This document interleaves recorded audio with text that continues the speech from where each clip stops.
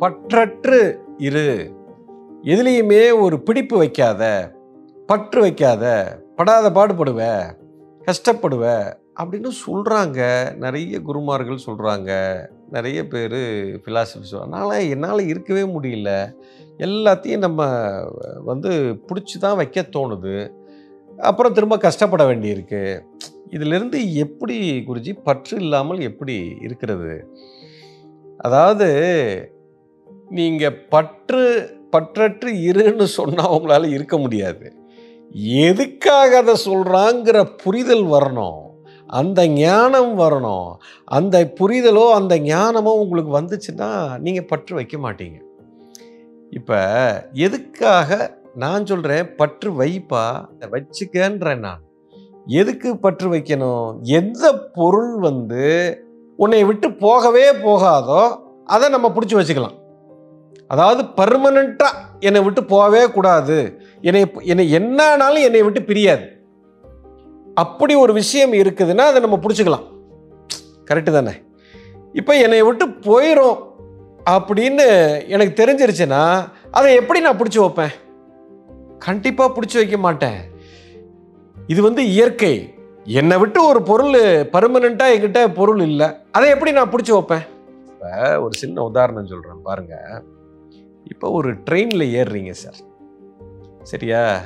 இப்போ சென்னையிலேருந்து train new டெல்லிக்கு போகிறீங்க டெல்லிக்கு போகிறீங்க ட்ரெயின் நைட்டு கிளம்புது. நைட்டு பூரா ட்ராவலு அடுத்த நாள் பகலும் ட்ராவலு.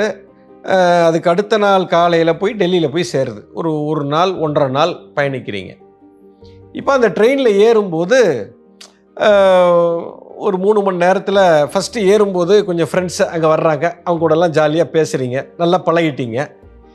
இப்போ அடுத்த ஒரு ஸ்டேஷனில் இன்னும் ஒரு நாலஞ்சு பேர் ஏறுறாங்க. இப்போ அவங்க கூடயும் நல்லா ஜாலியாக பழகுறீங்க. நல்ல ஃப்ரெண்ட்ஸ் ஆகிட்டீங்க அந்த ஒரு பத்து மணி நேரம் ஒரே அரட்டை ஜாலி கொண்டாட்டம் சாப்பாடு அவர் ஒன்று வாங்குறாரு நீங்கள் சாப்பிட்றீங்க. அவர் கதை சொல்கிறாரு அவர் அவர் சொந்த கதையை சொல்கிறாரு நீங்கள் எல்லாம் நல்லா பழகி ஃப்ரெண்ட்ஸாக அதில் அப்படியே போயிட்டே இருக்கிறீங்க. இப்போ ரொம்ப ஜாலியாக என்ஜாய் பண்ணி போகும்போது அந்த ஒரு இருபது மணி நேரம் முப்பது மணி நேரம் கழித்து அவன் இறங்கி அவன் வேலையை பார்க்க போயிடுவான். நீ இறங்கி நீங்கள் வேலையை பார்க்க போயிடுவீங்க அவன் உங்களை அவங்கவுங்க அவங்கவுங்க வேலையை பார்க்க போயிடுவாங்க இப்போ உங்களுக்கு பெருசாக உங்களுக்கு அங்கே ரொம்ப சந்தோஷமாக போயிருப்பீங்க. ஆனால் அவங்க மனசுக்குள்ளே நல்லா தெரியும். டே இவன் கூட நம்ம ஜாலியாக இப்போ பேசுகிறோம் ட்ரெயினில் பார்க்குறோம் எப்படியும் இவன் அடுத்த ஒரு ஸ்டேஷனில் இறங்கி போயிடுவான் இன்னும் ஒரு பத்து மணி நேரம் தான் இவன் இவனை நான் பார்க்க முடியும். இவன் கூட நான் பேச முடியும். அப்படிங்கிறது உங்களுக்கு நல்லா தெரியும். இப்போ இவனை வந்து நீங்கள் பிடிச்சி வைக்க மாட்டீங்க. ஏன்னா உங்கள் மைண்டுக்கு நல்லா தெரியும். இவன் வந்து இறங்கி போயிடுவான் இது வந்து இது நிலைக்காது. இந்த ரயில் ஸ்நேகம் வந்து கொஞ்ச நேரத்தில் முடிய போதுங்கிறது நீங்கள் பழகும் போதே உங்களுக்கு நல்லா புரிஞ்சிருக்குது. சார் இதுவும் ரயில் ஸ்நேகம் தான் சார்.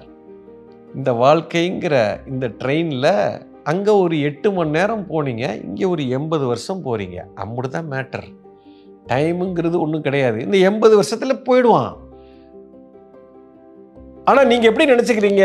வாழ்க்கையினுடைய ஆரம்பம் வந்து பிறப்பு முடிவு வந்து இறப்பு. இதுக்குள்ளே முடிஞ்சிருதுன்னு நினைக்கிறீங்க. இப்போ ரயிலை பொறுத்த வரைக்கும் இந்த ரயிலுங்கிறது ஆரம்ப முடிவில்லை. வாழ்க்கையில் இது ஒரு சின்ன பாகம். அவ்வளோதான் உங்கள் லைஃபுங்கிறது வேற ஒன்று இருக்குது அது முதல்ல இருந்து வந்துக்கிட்டே இருக்குது. இதில் இந்த ட்ரெயின் பயணம்ங்கிறது வெறும் முப்பத்தாறு மணி நேரம் தான் ஆனால் அதை தாண்டி பெருசாக ஒரு வாழ்க்கை இருக்குது அப்படிங்கிறது உங்களுக்கு தெரியும். அதில் இந்த ரயில் ஸ்நேகம்ங்கிறது ஒரு சின்ன விஷயம்னு தெரியும். அதில் வந்து இந்த ஆள் வந்து இந்த அடுத்த சின்ன விஷயம் இந்த முப்பத்தாறு மணி நேரத்தில் என்னை விட்டு போயிடுவார்னு தெ- இந்த ஞானம் இருக்கிறதுனால நீங்கள் பற்று வைக்க மாட்டீங்க. இப்போ வாழ்க்கையில் இந்த ஒரு ஞானம் இல்லை. அதாவது பிறப்புக்கு முன்னால் நீங்கள் ஏகப்பட்ட வருஷமாக வந்துக்கிட்டு இருக்கிறீங்க. அது பெரிய லைஃப் ஒன்று ஏற்கனவே நடந்து முடிஞ்சிருச்சு. இப்போ இறந்ததுக்கு அப்புறமும் நீங்கள் பாடியை விட்டு போனதுக்கப்புறமும் ஒரு பெரிய லைஃப் உங்களுக்கு காத்துக்கிட்டு இருக்குது. அதுக்கு இங்கிட்ட ஒரு ஆயிரம் வருஷம் இருக்குது. இங்கிட்ட பக்கட்ட ஒரு ஆயிரம் வருஷம் இருக்குது. முன்னால் நடுவில் ஒரு எண்பது வருஷம் ஒரு ட்ரெயின் ஜேர்னி இந்த ஞானம் உங்களுக்கு இல்லை. ஃபஸ்ட்டு பாயிண்ட் இதுதான். அதாவது ஆரம்பமே என் லைஃப் இதுதான் முடிவு இதுதான் நீங்கள் நினைக்கிறீங்க நம்பர் ஒன் அதனால் என்ன ஆகுது இதுதான் லைஃபு இதில் இருக்கிறதெல்லாம் பர்மனண்ட்டு இது என் கூடவே இருப்பாங்க. ஏன்னா ஆரம்பம் முடிவு இங்கே தான் இருக்குது இதனால் இப்போ என்ன பண்ணுறோம் இதை பிடிச்சி பிடிச்சி வச்சுக்கிறோம். இப்போ இந்த உண்மை புரிஞ்சாதான் நீங்கள் விடுவீங்க. இந்த உண்மை புரிஞ்சிருச்சுன்னா அந்த ரயில் ஸ்நேகம் கதை தான் பிடிச்சி வைக்க மாட்டீங்க. பற்று வைக்க மாட்டீங்க. ஆனால் இந்த உண்மையை உங்களுக்கு புரிய வைக்கிறதுக்கு பதிலாக வெறும் அட்வைஸ் ஏ பற்று வைக்காத பற்று வைக்காத பற்று வைக்காத அப்படின்னு சொன்னால் பற்று வைக்கத்தான் செய்வீங்க. படாத பாடுபடுவீங்க ஸோ இந்த ஞானம் வரணும். இந்த ஞானம் வரணும்னா அதுக்குண்டான கடவுளை பிடிக்க வேண்டும். அதுக்குண்டான அருளை பெற வேண்டும். அது தெரிஞ்சிருச்சு. இப்போ எனக்கு புரிஞ்சு விட்டது. இதுக்கு முன்னாடி ஒரு பிறவியில் நான் ஒரு தாய் தந்தை வயிற்றில் நான் பிறந்திருக்கேன். அங்கே ஒரு அம்மா அப்பா இருந்தாங்க. அங்கே எனக்கு ரெண்டு அண்ணன் இருந்துச்சு. அதுக்கு இரநூறு வருஷத்துக்கு முன்னாடி நான் இப்படி இருந்தேன். அங்கே ஒரு ஆள் இருந்துச்சு. அது இறங்கி அது போயிடுச்சு. இப்போ அதுக்கு முன்னாடி அதுக்கு முன்னாடி அதுக்கு இப்படி எனக்கு ஒரு பத்து அம்மா அப்பாக்கள் வந்துட்டு போயிருக்காங்க. நூற்றுக்கணக்கான சகோதர சகோதரிகள் வந்துட்டு போயிருக்காங்க. நூற்றுக்கணக்கான ஆளுங்க என் லைஃப்பில் வந்துட்டு வந்துட்டு போகிறாங்க எப்படி இந்த ட்ரெயினில் கொஞ்சம் பேர் ஏறுவான் கொஞ்சம் பேர் இறங்குவான் திடீர்னு கொஞ்சம் பேர் வருவான் இறங்குவான். இதே போலத்தான் என்னுடைய ரயில் ஸ்நேகமும் மாறியே தான் என்னுடைய வாழ்க்கை ஓடிக்கொண்டு இருக்குது. அது புரிஞ்சிருச்சுன்னா அப்போ இவங்களும் இறங்கி போயிடுவாங்க அப்படின்னு எனக்கு புரிஞ்சிருச்சுன்னா ஒவ்வொரு கணமும் அந்த புரிதல் எனக்குள்ளே இருந்துக்கிட்டே இருந்தா நான் எப்படி இதை பிடிச்சி வைப்பேன்? ஸோ இந்த ஞானம் தான் சார் வர வேண்டும். அந்த ஞானம் மட்டும் ஒரு மனுஷனுக்கு வந்துருச்சுன்னா ஆட்டோமேட்டிக்காக நீங்கள் பற்று வைக்க மாட்டீங்க. யூ அண்டர்ஸ்டாண்ட் அந்த ஞானத்துக்காக அந்த கடவுளுடைய அனுக்கிரகம் வேண்டும். இதைத்தான் ராஜபாதங்கி என்று சொல் அங்கே தான் அத்தனை ஞானமும் இருக்கிறது.